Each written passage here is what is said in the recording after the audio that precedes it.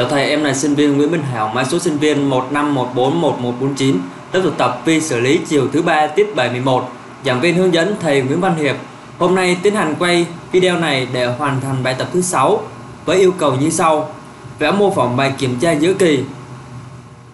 Bài kiểm tra giữa kỳ với những yêu cầu đó là khi mới cấp điện thì 8 led 7 đoạn hiển thị chữ off chấm chấm gạch ngang II với II là giá trị cài và mặt định ban đầu, đó là II bằng 12 không cho phép đếm, nhưng cho phép thay đổi giá trị cài bằng hai nút nhấn là up và down. Khi nhấn start thì cho phép đếm sản phẩm và hiển thị theo định dạng on, gạch ngang xx gạch ngang II với xx là số sản phẩm và II là giá trị cài. Khi mà xx bằng y thì cho xx bằng 1 yêu cầu của bài tập đó là vẽ sơ đồ nguyên lý và mô phỏng bằng Rotos thứ hai đó là viết chương trình. Bắt đầu với yêu cầu thứ nhất đó là mô phỏng bằng phần mềm Rotos chúng ta sẽ mở phần mềm Rotos lên. Ở đây chúng ta thấy đó là con bit 18F4550 em đã lấy sẵn ra để con vi điều khiển này có thể hoạt động được thì ngoài việc cấp nguồn cho nó VSS và VDD thì chúng ta cần phải nối chân master re, master clear này xuống lên mức cao khi mà chúng ta không sử dụng. Tiếp đến chúng ta sẽ lấy ra ba nút nhấn đó là start down và up như theo yêu cầu của đề bài là sử dụng up down và start thì chúng ta sẽ lấy ra ba nút nhấn. Ở đây thì em đã tạo ra ba nút nhấn trước. Thì một trong hai chân của ba nút nhấn này thì được nối chung với nhau và nối xuống GND và các chân còn lại thì sẽ được nối theo thứ tự như sau. Thì do chúng ta trong phần viết chương trình á ở đây chúng ta sẽ mở cái thư viện mà chúng ta đang nữa sẽ viết chương trình lên. Thì nó có khai báo các chân mà chúng ta à, sử dụng cho ba nút nhấn. Đó là các nút như là nút up này là BT0 tức là pin B5 down là là B4 và nút uh, on 2 hay là BT2 ấy, thì là nút B3 vì vậy trong phần cứng của chúng ta thì chúng ta sẽ kết nối theo như thư viện. Chúng ta sẽ kết nối lần lượt là star và nút RB3 bao thì vào chân RB4 và up vào RB5 chúng ta không cần phải nối uh, uh, lên VCC ở đây như ở đây và ở đây. Mà trong chương trình ấy, thì chúng ta chỉ cần sử dụng câu lệnh là kéo điện trở lên cho cả bọc B thì nó cũng tương đương với việc là chúng ta uh, sử dụng một con điện trở kéo lên VCC vậy cái cách đó thì hay hơn là việc mà chúng ta sử dụng phần cứng. Tiếp đến thì chúng ta sẽ lấy ra con IC có tên là 74HC573 con IC này có chức năng là chốt dữ liệu. Ở đây chúng ta có thể nhìn thấy là nó có 8 đường ngõ vào, từ D0 cho đến D7 và 8 đường ngõ ra từ Q0 cho đến Q7 một chân LE là cho các chốt dữ liệu. Tác động mức cao, tức là mức 1 thì nó cho cho chốt dữ liệu lại. Còn chân OE đảo là chân cho phép xuất dữ liệu ra, ngõ ra quy. Thì muốn xuất dữ liệu thì mình cho chân này xuống mức 0 và trong này bài thì luôn cho phép xuất dữ liệu ra, bởi vì chỉ có một cái module thôi, đó là module 8 nét bài đoạn. Mà không còn cái module nào khác thì chỉ có đúng module này là cho phép xuất ra liên tục. Thực tế là chúng ta cũng không cần phải sử dụng con 573 này nếu mà chúng ta sử dụng có một module thôi. Nhưng khi mà sử dụng hai module trở lên à, hai trở lên thì chúng ta cần phải có con 573 này. Bởi vì chúng ta có rất ít kết chân để kết nối với các thiết bị ngoại vi. Vì vậy chúng ta cần phải có con IC chốt này để mỗi thời điểm chỉ có một cái module hoạt động hay là mỗi module chỉ có một thời điểm là một cái module à, nhận được dữ liệu thôi từ vi điều khiển. Và những cái module khác thì không được nhận bị chốt dữ liệu lại ở đó chúng ta sẽ nối trên LE và trên RD0 và trên các chân từ D2 cho đến D7 của 573 thì chúng ta kết nối lần lượt vào các chân RD2 cho đến RD7 của vi điều khiển tiếp đến chúng ta sẽ lấy ra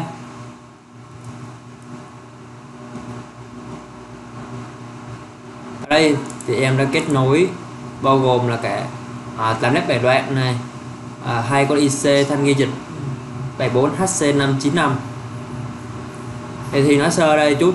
Thì à, trong cái bộ kit thí nghiệm á, thì chúng ta sử dụng con IC dịch có tên là MBI 5026 thì con MBI 5026 á, là thanh ghi dịch 16 bit con ngõ ra tác động mức thấp.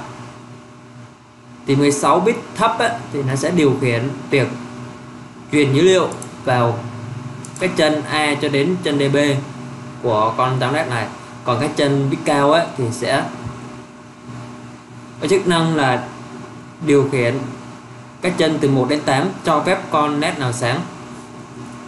Nhưng trên rotor này của chúng ta thì không có con MBI 5026 vì vậy chúng ta sẽ sử dụng hai con à, thanh ghi dịch 8 bit 74HC595 thì để tạo ra một con IC mà có chức năng giống như con MBI 5026 e thì chúng ta sẽ làm như sau chúng ta sẽ kết nối hai con này nối tiếp với nhau.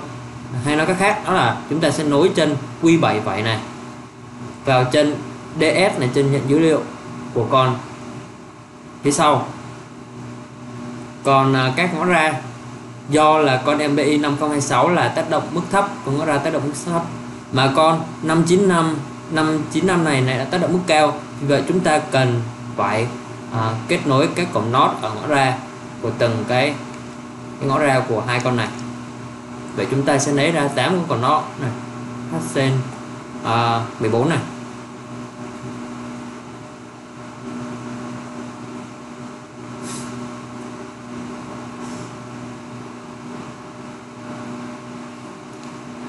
Các chân uh, SHCB là chân uh, à, SCK á, thực hiện á, thì chúng ta nối chung với nhau.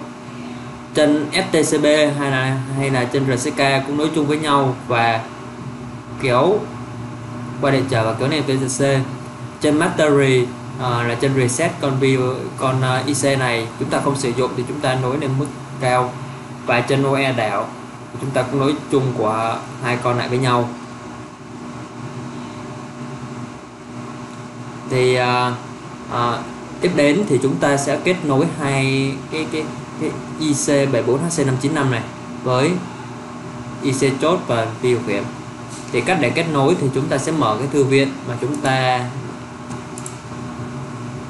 hồi nãy chúng ta mới nói đến là thư viện TV Big 2 ship 1.c thì trong thư viện này thì chúng ta có khai báo các chân của con 595 kết nối như thế nào? Thì chân SD0 á, chúng ta nối vào chân E2 chân SCK thì chúng ta nối vào chân E0 trong khi đó thì chân RCK chúng ta nối vào chân D5 anh nói khác này trên ờ, con 573 thì nó là trên Q5 á. Trên G thì chúng ta nối vào trên D4 hay là trên Q4 á.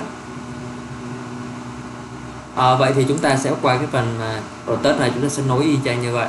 Thì ở đây chúng ta sẽ nối trên RCK này trên STCB này và trên Q5 của 573 Trên E0 RE0 thì chúng ta nối vào trên SHCB Trên RE2 chúng ta nối vào trên DS và chân Q4 của con 573 thì chúng ta sẽ nối vào chân OE nào? Là chân cho phép xuất dữ liệu ra. Để con led này để con led này có sáng được ấy, thì chúng ta cũng cần phải có điện trở hạn dòng. Ở đây chúng ta lấy một cái khối điện trở 220 ohm thì nó tương đương với 200 à, ờ, tương đương với 8 con điện trở. Mỗi con có giá trị là 220 và chúng ta là được kết nối vào các ngõ ra của hai con IC thanh ghi dịch này tiếp đến thì ờ, chúng ta sử dụng 8 cổng nót này thì thay cho cái con transistor BNB để điều khiển xem coi là con nét nào sẽ được sáng ở một thời điểm. Thì muốn con nét nào sáng thì chúng ta sẽ cho cái chân nó mức không và những chân còn lại thì muốn không muốn sáng thì chúng ta cho mức một. Thì cái phương pháp quét thì cũng khá là đơn giản thôi. Thì ở một thời điểm thì chỉ có một nét sáng và các nét còn lại thì tắt và để mắt người của chúng ta có thể nhìn thấy được là tám con led này đều sáng hết lên thì mỗi con led thì phải có cái thời gian đáp, lớn hơn cái thời gian đáp ứng của mắt người là 25 của bình trên một giây.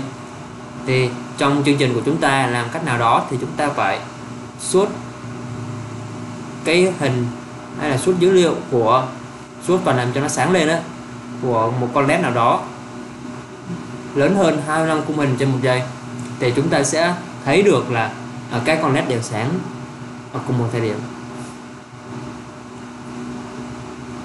À, thì tiếp đến á, thì do là cái phần phần uh, mô vòng rotate này chúng ta không có cái cảm biến uh, hồng ngoại để phát hiện là có vật. Qua thì chúng ta sẽ sử dụng zoom clock đây chúng ta lấy zoom clock và chúng ta sẽ nối vào trên RA4 do chúng ta sử dụng là timer T0 thì cái chân mà nhận xung clock của timer T0 là A4 chúng ta sẽ kết nối vào. Vậy là chúng ta đã xong phần cứng.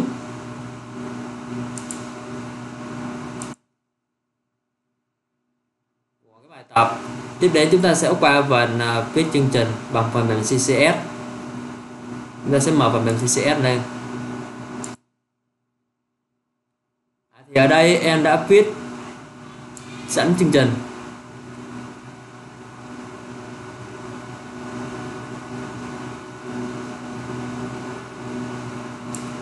À, thì nói kỹ hơn về cái chương trình này.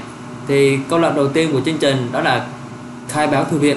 Ở đây chúng ta sẽ sử dụng thư viện tv bigkick 2 ship 1c đây chúng ta sẽ nhấn chuột vải và chọn open file as cursor sẽ sổ ra cái thư viện nội dung của nó.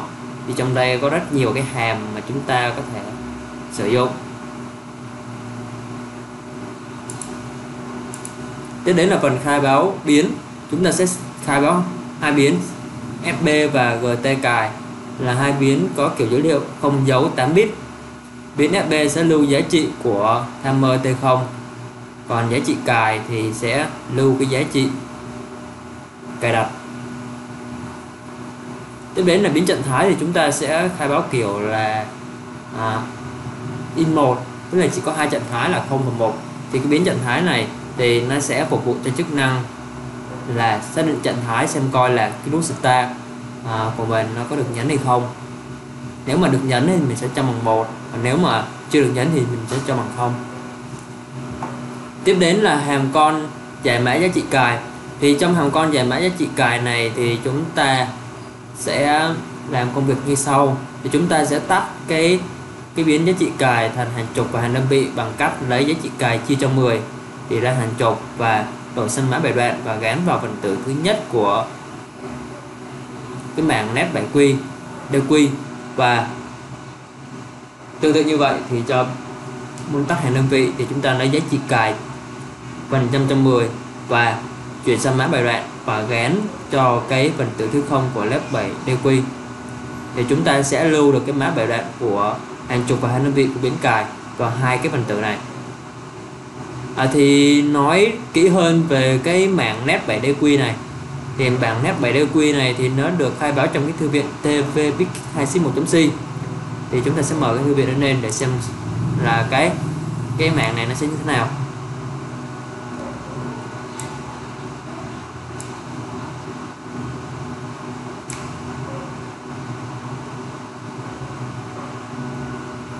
Ở đây. Ở đây. Thì cái mạng này thì ban đầu người ta sẽ gắn cho các phần tử đều là có giá trị là không có ép hết. Tức là nếu mà mình xuất ra mà chưa gắn gì ấy, thì nó sẽ là tắt hết các led. Và nếu muốn cho con led muốn gắn cái giá trị nào cho cho phần tử nào thì chúng ta chỉ cần làm công việc là gắn cái mã bài đoạn cho cái phần tử đó. Ví dụ muốn gắn cái mã bài đoạn không xc0 cho phần tử thứ hai của cái mạng này thì chúng ta sẽ làm việc như sau uh, led 7 dq 2 bằng 0x0 thì cái giá trị 0x0 sẽ lưu vào cái phần tử thứ hai của mạng led 7 dq và muốn hiển thị được giá trị đó thì chúng ta sử dụng hàm à, này hiển thị 8 led 7 đoạn quét on. Cái hàm này cho phép xuất dữ liệu ra 8 led 7 đoạn hoặc là cái hàm này cái hàm này thì hàm delay quét 8 nét này thì là vừa hiển thị luôn này nó có hàm hiển thị 8 nét về quét on. Ở trong một vòng lọc for tôi chạy từ 0 cho đến à, dl trừ 1 thì cái dl này cái là cái thời gian delay. Chúng ta sẽ thay cho nhập cái thông số đó vào đây. Ví dụ như là chúng ta muốn uh, delay vừa hiển thị vừa delay khoảng 200 um, micro giây thì chúng ta chỉ cần gọi hàm như sau delay quét 8 led 200 là được. Thì nó vừa chức năng là delay vừa chức năng là hiển thị 8 led quét. À, thì quay lại chương trình sau khi mà viết cái hàm con giải mã cái chị cài xong thì chúng ta qua phần kiểm tra phím up. Thì do phím up á cũng như phím down á thì nó có nhiều chức năng. Thì chúng ta cần phải có chống dội cho nó. Bởi vì khi xử lý của chúng ta á, thì nó sẽ phát có thể là phát hiện sai. Nó khác là phát hiện cái số lần chúng ta nhấn sai. Ví dụ như chúng ta nhấn một lần nhưng do phi điều kiện của chúng ta là xử lý rất nhanh nó cỡ khoảng là à, nano giây thì nó có thể hiểu là chúng ta nhấn hai ba lần. Vậy thì cái việc mà chúng ta à, cài đặt giá trị cài thì nó bị sai và không đúng thì chúng ta cần phải chống dội cho hai phím đó thì chúng ta làm công việc như sau. Thì muốn chống dội thì chúng ta cũng à, đầu tiên là kiểm tra xem coi phím up được nhánh không. Và giá trị cài có nhỏ hơn 15 không? À nói một nói sơ qua chút là giá trị cài của chúng ta chỉ nằm trong khoảng từ 9 cho đến 15 thôi. Nếu mà nhỏ hơn 9 ấy, thì nó dừng ở 9 còn nếu mà lớn hơn 15 ấy, thì nó dừng ở 15 vậy sau đó delay đây hàm delay quét 8 led như chúng ta nói trước này. Cái thông số delay là 20 giây. Thì chúng ta vừa delay và vừa hiển thị luôn. Bởi vì nếu mà trong chương trình của chúng ta mà không gọi hàm hiển thị 8 led 7 đoạn quét on này một cách thường xuyên á thì cái lúc mà chúng ta hiển thị á thì nó sẽ à, có thể là tắt luôn. Không có sáng được hoặc là sáng mờ hoặc có thể là chớp nháy. Nên vì vậy chúng ta luôn luôn phải đặt cái cái, hàm này ở mọi vị trí trong cái chương trình có thể. Thì nếu mà chúng ta dùng hàm delay ở đây thì nó chẳng làm được gì hết ngoài việc là à, ngưng chi vi điều khiển không làm gì hết. Nhưng khi mà sử dụng hàm delay quét 8 led này ấy, thì chúng ta vừa hiển thị được mà vừa delay được cái ưu điểm của nó ở đó. À, tiếp đến thì chúng ta tải kiểm tra nút up này xem coi nếu mà đúng là nút up mà được nhấn ấy, thì chúng ta sẽ tăng cái giá trị cài lên một đơn vị và gọi hàm giải mã giá trị cài. Sau đó chờ nhà phím up thì nó mới thực hiện chức năng là tăng cái cái biến này lên.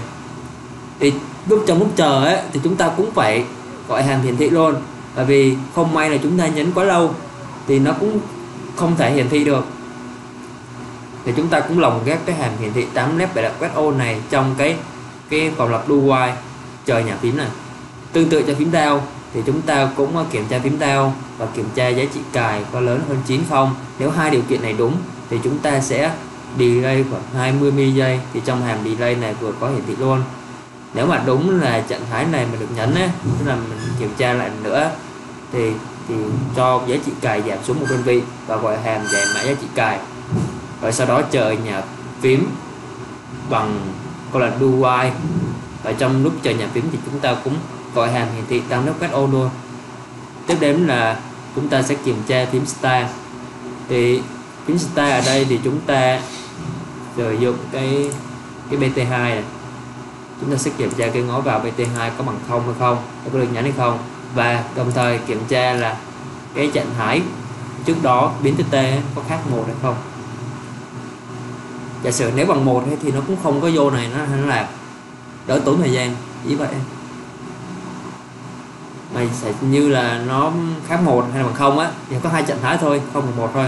Tức là trước đó bằng không á thì nó sẽ và điều kiện này đúng luôn. Điều kiện là nút uh, nút ờ, uh, BT2 này hay nút tài nhấn á thì mình sẽ gán biến biến TT bằng một và set timer không. Tức là cho timer timer không đếm á à, và cấu hình cho nó là đếm xung ngoài phát hiện cẳng xuống và giá trị à, chia là một. Tiếp đến thì chúng ta ờ, à, gắn cái mã biểu đoạn của dấu gạch ngang cho collect cho phần tử thứ năm của lép 7 đế quy. Gán mã biểu đoạn của chữ n cho lép 7 cho phần tử 6 của lép 7 đế quy và gán mã biểu đoạn của số 0 chữ 0 cho lép 7 đế quy. Bởi vì khi mình nhấn start thì thì hai cái chữ này này đây này trong cái chương trình đó đây, thì nét thứ bảy, nét thứ sáu và nét thứ năm nó hiển thị là on và dấu trừ. Đó. nên chúng ta sẽ làm công việc gán như vậy. Ở tiếp đến là phần chương trình chính, bắt đầu bằng câu lệnh comment này bắt đầu bằng cú pháp comment đầu tiên chúng ta sẽ set up bot is chốt. Tiếp đến là khởi tạo bọt B là bọt nhận do là chúng ta sử dụng. Bọt B là kết nối với các nút nhấn nhận dữ liệu từ nút nhấn. Và chúng ta sẽ sử dụng câu lệnh là set trích B không mất FF tiếp đến là chúng ta sẽ sử dụng câu lệnh này. Câu lệnh này là bọt B pull up không mất FF là à, sử dụng điện là kéo cái bọc B dùng uh, điện trở kéo lên ở bọc B. Tức là các trên bọc B này đều có điện trở kéo lên hết và kéo lên BGC để khi mà ba phím đó không nhấn ấy, thì nó là mức 1 còn nếu nhấn xuống là mức 0 tiếp đến là mình set timer 0 T không off là tắt cái counter không không cho nó đếm. Bởi vì như trong cái đề bài ấy, thì ban đầu cấp điện thì không cho phép đếm.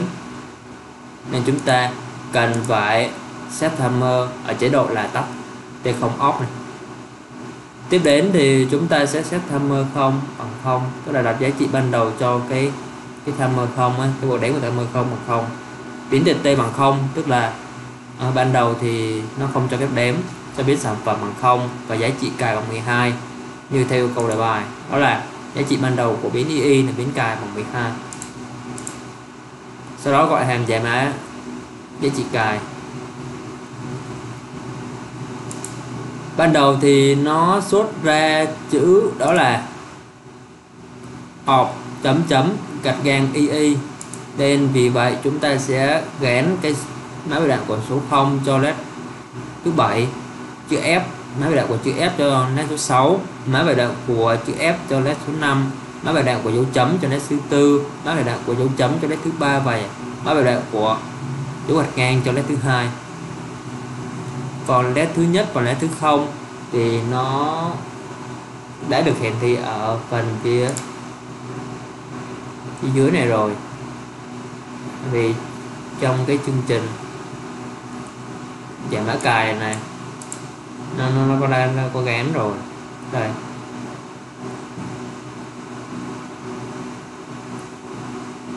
Đây đây tiếp đến là vòng lặp tuần hoàn. Thì trong vòng lặp tuần hoàn này chúng ta sẽ kiểm tra biến tt bằng một hay không? Hay nói khác là à, phím start có được nhấn hay không? Nếu mà được nhấn thì mình sẽ cho phép đếm và mình sẽ đọc giá trị của timer t0 nếu mà t0 mà tham giá trị t0 mà gán cho biến sản phẩm. Nếu mà biến sản phẩm của mình mà lớn hơn giá trị cài thì mình cho biến sản phẩm bằng một và set cái giá trị của timer không về một. Đồng thời nếu mà phím start được nhấn thì mình cũng tắt cái biến sản phẩm thành hàng chục và đơn vị đơn vị bằng cách lấy sản phẩm chia 10 rồi sau đó lấy mã biểu rồi sau đó chuyển sang mã biểu đoạn và gán vào cái cái phần tử thứ 4 của mạng nét 7 quy. Rồi còn à, biến đơn vị thì chúng ta sẽ lấy biến sản phẩm phần trăm cho 10 và đổi sang mã biểu đoạn và gán vào phần tử thứ ba của led 7 quy. Tiếp đến chúng ta sẽ gọi hàm hiển thị 8 led 7 quét on để hiển thị trên 8 lớp web. Kiểm tra lần lượt ba phím up, down, star bằng cách gọi các hàm phím up, phím down và phím star. Rồi sau đó lại quay lên lại bởi vì quay lên lại làm những công việc trong vòng lặp quay chu này một cách liên tục. Kiểm tra phím star, kiểm tra biến nhận thấy tt hiển thị, kiểm tra up, down, star. Vậy là phần chương trình của chúng ta đã viết xong. Chúng ta sẽ biên dịch nó thành file để nạp chương trình. Chúng ta sẽ nhấn combine ở đây thì chương trình đã biên dịch thành công nên nó để chữ là không error và không error. Warning. Và chúng ta sẽ qua phần rotate để nạp chương trình.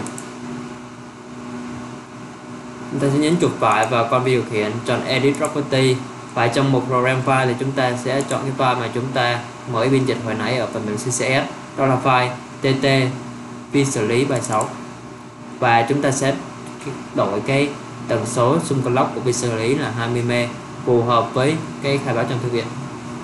Nếu chúng ta không khai báo đúng thì nó sẽ không chạy đúng được. Là nhấn ok.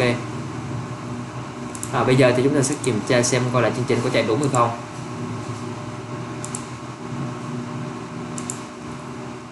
Chúng ta sẽ nhấn play để kiểm tra. À, Vậy ban đầu. Cũng như vậy khi mới cấp điện thì nó hiển thị chữ off. Chấm chấm gạch ngang 12 là giá trị cài ban đầu. Bây giờ mà nhấn. Và để ý này khi mình mình có xung ở trên RA4 này nhưng mà nó vẫn không có đếm. Do mình chưa nhấn start vậy là đúng theo yêu cầu nữa là khi mới cấp điện thì không cho phép đếm. Bây giờ mình nhấn up down xem coi nó có nhảy số đấy được không. À thì đây, nó nhảy lên được. Nhấn tiếp, thì nó dừng ở 15 giờ nhấn down. Vẫn đúng, vẫn giảm.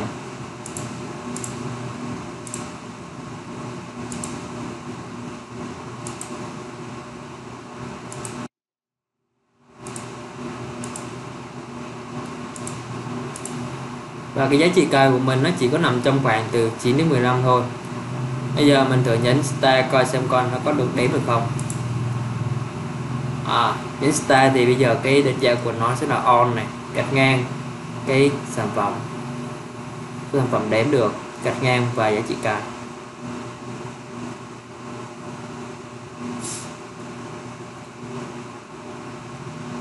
à, khi mà cái sản phẩm này số sản phẩm này bằng giá trị cài thì nó trở về số 1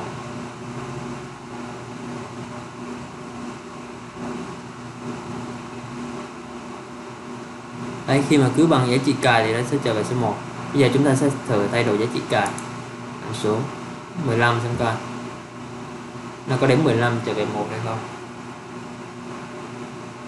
Đó nó đếm 15 và quay trở về 1 giờ chúng ta sẽ giảm xuống. Nó còn 12 thôi.